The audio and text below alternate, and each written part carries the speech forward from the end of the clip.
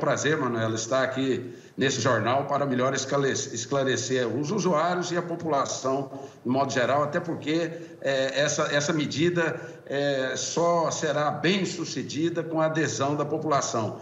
E nós estamos avaliando esse primeiro dia, é, agora já com o próximo do término do horário de pico, nós estamos avaliando que os problemas foram alguns, alguns que nós já esperávamos que ia acontecer, né?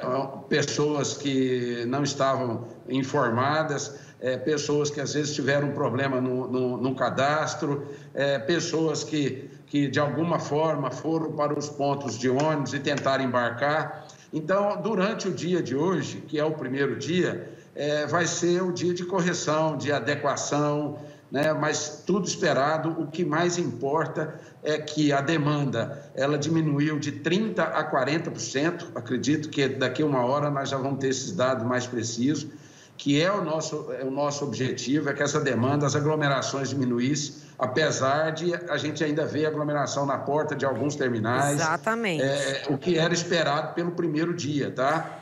Isso Ô, era, já era esperado. Murilo, é, é, a, gente, a gente sabe que o primeiro dia de toda mudança, ele é, ele é difícil. Mas o que o passageiro sentiu falta e que nós defendemos o passageiro nesse sentido foi, faltou orientação na entrada dos terminais, das plataformas, dos eixos. Porque a gente que não tinha informação, ok. Às vezes a pessoa não tem acesso a muita informação, a pessoa às vezes não tem nem tempo para isso. A gente não pode nem falar que é ignorância e falta de querer saber. Mas é, faltou ter gente ali na porta para orientar, porque tinha passageiro que chegava lá e se não fosse repórter nosso para falar, não, sua carteirinha não está com problema, você vai poder entrar daqui uma hora e meia, passar pela catraca, o passageiro tinha ido embora. Não faltou gente ali, não faltou esse planejamento? Manela, veja bem, é como eu disse, é, teve alguns ocorridos no dia de hoje que serão corrigidos durante é, é, até no pico da tarde e provavelmente amanhã nós, nós vamos é, ver menos dificuldades e menos problemas, tá? Nós temos fiscais em praticamente todos os terminais.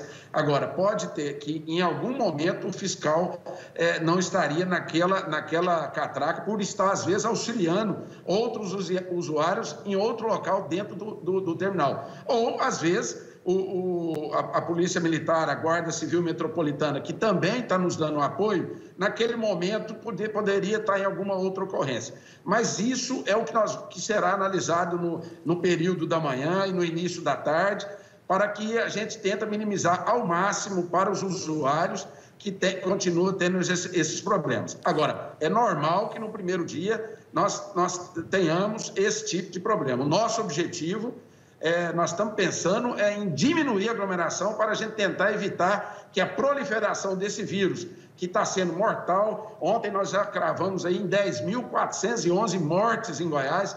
Então, a nossa preocupação única é essa, única. É, mas o problema é a gente tirar a aglomeração de dentro do ônibus e deixar na porta do terminal. Então a gente espera que com essa correção de vocês, já imediatamente após esse primeiro momento, é, no período da tarde a gente já não tenha tanto isso. Porque, assim, é, é, é a impressão que nós temos, e eu digo nós como comunicadores, é que essa comunicação foi muito curta, foi falha e, e faltou explicar melhor, faltou ter uma explicação por um, um, um planejamento para explicar e orientar melhor esse passageiro, considerando considerando, Murilo, que a gente tem que considerar aquele passageiro que lê notícia, aquele passageiro que busca se informar, mas a gente também tem que considerar aquele que não tem tempo nem para isso. Que ele chega em casa, ele mal tem tempo de fazer alguma coisa porque tem que cuidar da casa. Deixa eu só te fazer uma outra pergunta, então, porque assim, a gente a gente está considerando aqui o passageiro, vamos supor, desinformado. Mas nós mostramos exemplos, inclusive a gente conseguiu um exemplo de um funcionário que estava saindo do trabalho, que trabalhou a noite toda, ele estava com a cartinha dele lá preenchida, que foi o que a empresa preencheu para ele porque as empresas têm acesso a isso, né? Por exemplo, aqui na Record nós temos a atividade essencial de comunicar. Então vai lá o meu RH, preenche, põe meu nome, põe minha função, manda, um documento. Mas vamos supor que ou a empresa errou ou o sistema tenha falhado, porque ele não conseguiu embarcar. Como é que fica essa situação?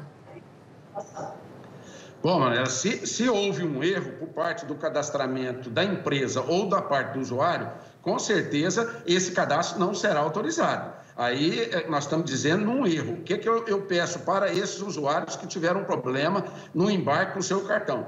Que refaça é, é, o, o, cadastro, é um cadastro muito simples, ou que a empresa refaça esse cadastro, que é muito simples, tá? E se tiver é, alguma dificuldade além disso, pode consultar os nossos fiscais nos terminais ou os sites da RMTC. Agora, voltando ao, assunto anterior, o nosso prazo de, de, da, decisão tomada pelo governo, pela Prefeitura de Goiânia e todas as prefeituras da região metropolitana, ele foi um prazo muito curto também, mas não foi muito curto porque, pela vontade nossa, não. Foi muito curto pela necessidade de nós fazermos alguma coisa, pela velocidade da disseminação desse vírus. Se nós pudéssemos ter uma semana para a gente fazer essa divulgação, era o que nós gostaríamos, mas nós não podemos esperar, está aumentando muito a cada dia que passa. Agora, então, Murilo... essa aglomeração que teve hoje, nós esperamos que ela não terá amanhã. Murilo, deixa eu te perguntar uma coisa. É, é, o, o, o, principal problema, nós sabemos, é a frota que não é suficiente. Ponto. Esse é o principal problema. Se tivesse frota suficiente, não tinha toda essa aglomeração dentro dos ônibus. Como que a CMTC está fiscalizando e cobrando nesse sentido? Por quê? Por exemplo, eu vou te dar um exemplo. É, lá perto de casa, é muito difícil o ônibus após as seis da tarde. E aí, se o passageiro não for sair no horário de pico, se ele for sair três da tarde, ele vai trabalhar nada. Se ele for sair depois do horário de pico, ele vai sair num horário que já é difícil ter ônibus. Como é que vai ser agora? Vai ter mais ônibus passando depois desse horário de pico? Vai aumentar essa frota depois desse horário de pico? Porque aí vai ter aquele passageiro que já tem aquela dificuldade, tem uma demanda pequena depois desse horário. Isso foi estudado? Ah, não, ó, aqui, vamos supor, tá, gente? Não, esse ponto aqui da Vila Redenção é um ponto perigoso, é um ponto escuro, o ônibus passa a cada 40 minutos. É um exemplo do que acontece lá perto de casa.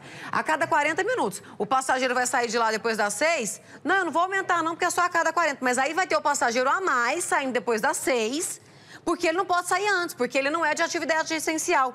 Vocês avaliaram isso? É, o que a gente quer saber é, essa frota foi, esse planejamento foi feito para que essa frota seja colocada em circulação e não tira ônibus depois do horário de pico? Manuela, é, é, eu quero deixar bem claro que 100% da frota cadastrada e selada está nas ruas de Goiânia região metropolitana. São? 100%, aproxima, perto de 1.100 ônibus. Por que, que eu falo perto de 1.100 ônibus?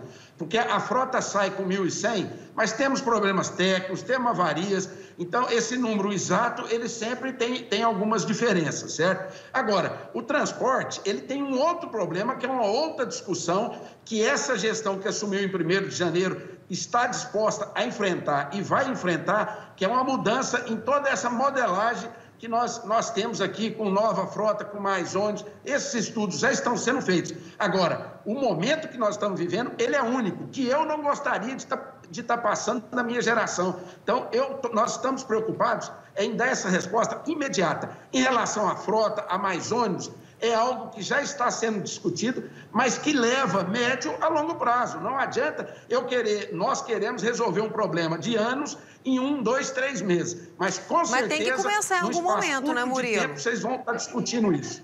Porque tem que começar em algum momento. Se tivesse começado há um ano atrás, a gente, neste momento de lockdown, não estaria nessa crise. Então, essa história de que é a longo prazo, mas tem que começar. Porque a impressão que a gente tem, com todo respeito, é que fica assim: ah, não, é um problema a longo prazo, é um problema difícil demais. E aí ninguém nunca quer enfrentar, sabe aquele medo de enfrentar aquele problema? Parecendo adolescente do vestibular, você tem que enfrentar. Então, tem que começar a planejar e resolver esse problema para daqui um ano, dois anos, três anos, já está tudo ótimo porque senão nunca vai vir a solução. Manuela, você foi muito feliz em dizer que nós temos que começar. E nós começamos essa discussão. Só que no início de janeiro, nós tínhamos uma realidade e depois de, um, de 30, 40 dias, é, essa cepa que chegou em Goiânia, em Goiás, ela mudou. Então, ela mudou o nosso comportamento, o nosso trabalho, a nossa atividade. Ela está 24 horas é, é, em relação à questão do vírus, a tentar disseminar essa demanda. Agora, já existe uma equipe técnica que está trabalhando nessa nova modelagem, mas que foi impactada agora com essa mudança, que nós estamos aí trabalhando, é, é, é uma parte está trabalhando, outra parte está, está trabalhando de home office, então isso Murilo. acaba que prejudicou um pouco. Mas tá. nós já começamos. E eu até me ofereço, numa outra oportunidade, é, é, participar do, do, do, jornal ou de uma entrevista, só para a gente explicar o que está sendo feito. Tá, sim, a gente não vai ter tempo agora, a gente vai querer sim, eu quero esse momento, porque eu acho que é importante para a gente tentar entender, tentar entender, porque eu me coloco principalmente no lugar do passageiro e para o passageiro também. Agora, só rapidinho você me responder. A frota hoje é de cerca de 1.100. Qual é a frota ideal e já há planejamento para atingir, já tem uma previsão para atingir essa frota ideal? Ô, ô, Manela, deixa eu te... É, a frota que está na rua hoje, ela é a frota ideal para a demanda que nós Não estamos tem tendo. Lógica, você tem uma ideia? Só que, se você observar, o transporte, ele tem horários de pico.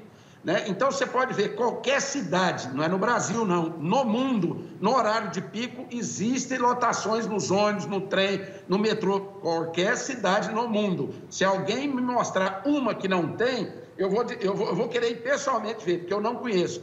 Então, não adianta nós acharmos que em qualquer sistema, no horário de pico, nós vamos ver pessoas somente sentadas tranquilo. Então, no horário de pico, existe essa demanda lotada. Agora, eu concordo com o usuário, é ruim. Eu, eu me coloco do lado do usuário é também. Agora, nós estamos trabalhando é justamente para mudar o que está ruim há anos. Nós tá estamos trabalhando e vamos mudar. Vamos ter uma próxima oportunidade para que você venha para nos esclarecer isso. Por gentileza, desde já, obrigada pela participação. A gente fica feliz de saber que vocês já começaram esse ano já com a ideia de mudar é, o, o, o, o caos desse transporte e a gente fica com a esperança, nas suas palavras, de que esses problemas pontuais que aconteceram, foram muitos, tá? Foram, que aconteceram hoje de manhã, já não vão acontecer à tarde, já não vão acontecer nos próximos dias. A gente vai falando, viu, Murilo? A gente vai continuar cobrando, porque a nossa função é essa essa, de passar para frente aquilo que o telespectador que não tem voz, que o passageiro que não tem voz, precisa passar e precisa cobrar. Obrigada, viu, pela participação ao vivo aqui conosco.